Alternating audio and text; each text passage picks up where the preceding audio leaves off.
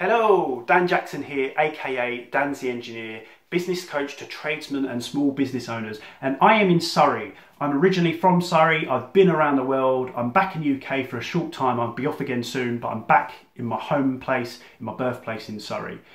So this video, we're going to be talking about, do you test and do an EICR before a fuse board change, or do you just test afterwards? It's a question I get all the time.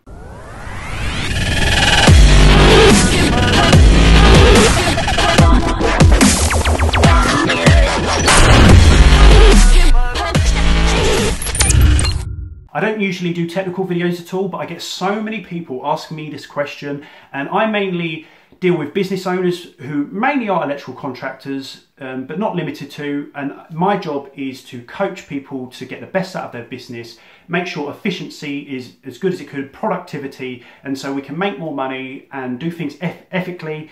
And I, I guide people. I'm a contractor by trade. I'm an electrician by trade. I've had a, a company, so I've got vast experience. But so that's why I can relate to electrical contractors more so than most others. And I feel that this particular topic is kind of business related because if you're an electrician, you come across this all the time. And my job is ultimately also to advise people how to keep them out of jail, making sure they're meeting legislation, um, stopping any fines, and making sure that their businesses are doing things correctly. And we've got procedures in place. So let's go. Here's the age old thing Do you do an EICR before you change a board or do you just change it and you do a test afterwards? They're the two different things that, you know, that people generally talk about and there's uh, always discussions. So I'm going to tell you the truth. Do you test before or do you test afterwards? You do both. You carry out tests before and you carry out tests afterwards because beforehand you're assessing the existing installation to make sure are there any defects or any code 1 or code 2 items to make sure that when you change it that it is safe because you, you shouldn't be energizing anything that isn't safe. And when you test afterwards is because you're actually changing the design you're altering it's a major alteration. It's not like just taking a socket off and putting it back on. It's a big alteration when you're introducing RCD protection. Now SPDs and you know everything else you might be changing circuit breakers so they're the more modern types because there might be old rewirable fuses it might be the old type 2s or you know something like that so it's a major alteration to the existing installation so we need to test before and we need to test afterwards. Now there's all sorts of guidance on this. Um, I believe it, there's an ESF uh, best practice guide. I will put it in a link below have a read of it. It kind of makes sense, but regardless, even if you're chain, even if you don't do an EICR first, you it still says you have to do and do a visual to make sure that there's no um, defects. You have to make sure you do tests like earth continuity, uh, polarity, insulation resistance. Now, everything I'm describing sounds like an EICR, so why aren't we doing it in the first place anyway? And you know, but ultimately it comes down to is a client willing to pay for that? So i'm going to sort of talk you through a bit of a process and how i used to tackle it with clients. So i used to say to clients who used to come to me they say i want my fuse board changed. And the first thing i say is why? Why do you think that? And it might be well i had an electrician around the other day and he said he thinks it needs changing. I'm like okay. And i often get them to send me a photo first of all. Now i always say to them that it's not a case of taking a fuse board off the wall taking it off, putting a new one back on and connecting it up. It's, it's not like that. The reason I used to say that is because regulations change over time, the standards change. We've got obviously the 18th edition now. And obviously when it was installed, they were a different standard, so we have to work to today's standard. But also, fuse boards don't get changed that often, so it's quite likely that we might have a few issues with the installation. And ultimately, if I'm re-energizing a circuit, I need to make sure that it is safe and suitable to turn on because ultimately, if there's an issue, if somebody gets an electric shock, there's documentation to say that I've been here, I've changed the board. Did I check that circuit was safe? No. Why not? Because ultimately, I'm not doing everything I can to meet the electricity at work regulations. Now, a lot of electricians fail to forget that the electricity at work regulations are statutory, it's legislation, and forget BS 7671. That's we say it's guidance, we should work from it. Electricity at work regulations is the law, and you have to make sure you do everything you possibly can to make sure that the work you're doing doesn't cause risk for electric shock, fires, anything like that. So that's you always have to bear that in mind. So if you were standing in court, did you do everything you possibly can to stop somebody getting hurt? Now, if you change a fuse board and you didn't check that circuit, you don't know what's on it, didn't check it at all, you turn it on, month later, someone gets a shock, they dies, guess what's going to happen? The paper trace will come back to you, they're going to look at you and be like, well, hang on a second, you change a fuse board, what did you do with this circuit? And, it, and if you turn around and say, well, I didn't install the circuit, I'm just changing a fuse board. There's guidances, there's documents, and everything out there that suggests that you should be changing that first of all. You should be checking to make sure that it's all suitable and adequate and okay. So when you've got an expert witness or somebody, a, a professional in the business, and they turn around and they'll say, well, hang on a second, you didn't do your job properly, you should have checked this.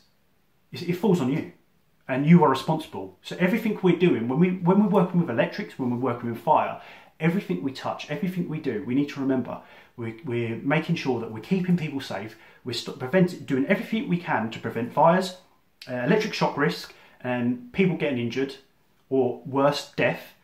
We're doing absolutely we, everything we can. Okay, you, you, that's the thing you have to remember all the time. Everything you touch, are we doing everything we possibly can? You've got the cost element because you might do an EICR and the client will say, well, hang on a second, I've got two other quotes and none of them are suggesting an EICR. Now, the truth is they're probably not doing things properly. And the sad thing is that us electricians are in a pool and you know a group of people that are called electricians as well who do these short courses. They don't really know what they're doing. Anybody can have a stab at electrics. It's quite easy to get into. So unfortunately, we are dealing with those people and it does ruin the market ultimately. I'll talk about this another time. But anyway, forget them. You need to make sure you're doing everything that you do because if you just go, well, you know, five other people say this and say that's okay, doesn't keep you out of jail and it doesn't stop people getting electric shock. You just need to concentrate on you and what you do. And if a client isn't the type to kind of, you know, understand why, then I wouldn't be wanting to work for those clients. But it's important to educate yourself on why we do this. But what, we want to know is to make sure that the earthing and bonding is accurate and correct um, it's really important to reduce any any risk there, but also to make sure that we we've not got any um, horrible you know anything horrible that we can't see. There might be a socket somewhere that isn't earthed. It could be anything. It could be some light fittings are connected up that aren't in the right manner. So you know, and you need to highlight this to the homeowner, to your client, and say, surely we're better off knowing everything beforehand.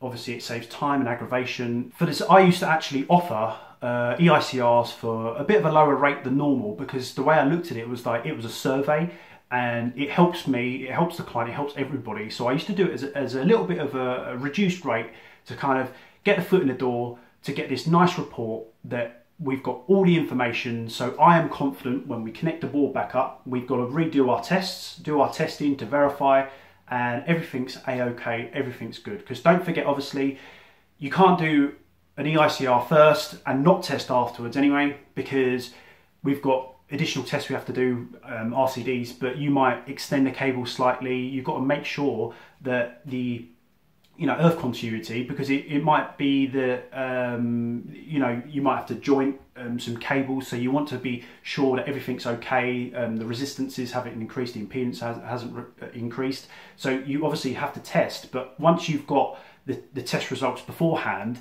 at least you've got you know something to base yourself against and, and verify to make sure because you know what um, results you're actually looking for and it's quite quick and easy because you've already tested it once it's just a case of whizzing around the house and, and doing anything again you've already done your, your points and checked that everything's, you know, how many things are on a circuit. So you've, you've done most of it already. It's just verifying and, you know, recording the additional results because they will change slightly, generally speaking. I hear all too often, and I see it on all the Facebook groups, you know, we all know what they're like, of people who have changed a fuse board and they haven't put test results down and they say, well, you know, I didn't install them cables and them circuits, but unfortunately, you have to be responsible and make sure that what you're connecting up you know is safe before you turn it on. It's, it's quite a simple process. You can't get a, like an, an, an electrical installation certificate isn't a condition report and saying you know this doesn't meet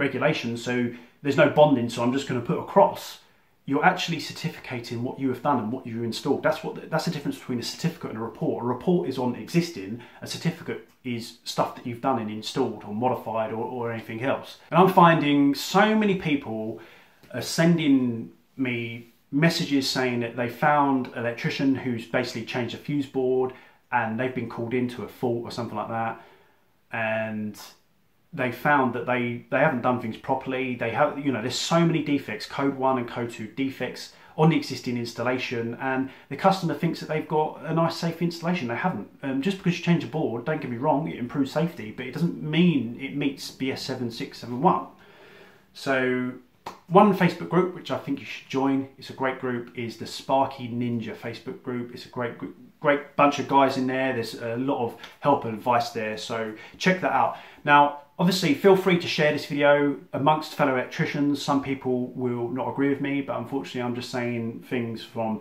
you know my perspective and sort of advising on how we should do things instead of what people do do. You know, there's there are two massive different things here. I hope you like this video. I hope it was helpful. I'll see you on another video.